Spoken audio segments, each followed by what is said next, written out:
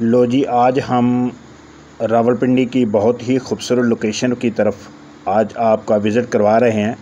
آج ہم موجود ہیں راول پنڈی کی بہترین لوکیشن پر، بہترین علاقہ میں، جہاں پر یہ زندگی کی تمام سہولیات موجود ہیں۔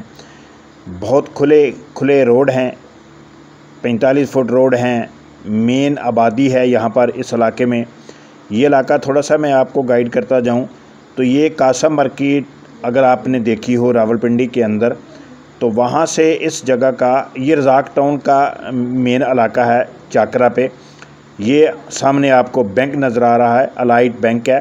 نیا یہاں پر یہاں پر اس کی ڈیولپمنٹ میں ہوئی ہے رزاق ٹاؤن میں۔ یہ الائٹ بینک ہے۔ الائٹ بینک کے اندر سٹاف جتنا بھی ہے، بڑا اچھا سٹاف ہے۔ اور اس کے اندر اے ٹی ایم کی جو کیلکولیشن ہے اے ٹی ایم کی مشین لگ گئی ہے۔ اور یہ بیس فٹ، پچیس فٹ کی تمام گلیاں ہیں رزاق ٹاؤن کی۔ یہ آپ، اس لیے آپ کے سامنے آج شیئر کر رہا ہوں کہ آج ہمارا ٹور تھا یہ رزاق ٹاؤن کی طرف، چاکرا کی طرف۔ اور آئی گر اگر آپ آئی فورٹین گولڈا موڑ سنا ہوگا، پیر بدائی موڑ کے سے آگے کوئی نور مل ہے۔ گولڈا موڑ ہے۔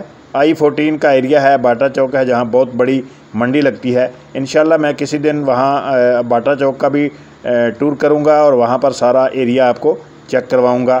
یہ چاکرا کی طرف آنے والا روڈ ہے۔ مین روڈ ہے، تیس پینتیس چالیس فٹ روڈ ہے، جو قاسم مارکیٹ اور مسریال چوک، چوڑ چوک، اس ایریے سے یہ لنک کرتا ہے۔ یہاں پر زیادہ تر لوگ پنجاب کے رہنے والے ہیں، پنجابی ہیں۔ پٹھان بھی یہاں پر بہت موجود ہیں، سکول ہیں، کالج ہیں۔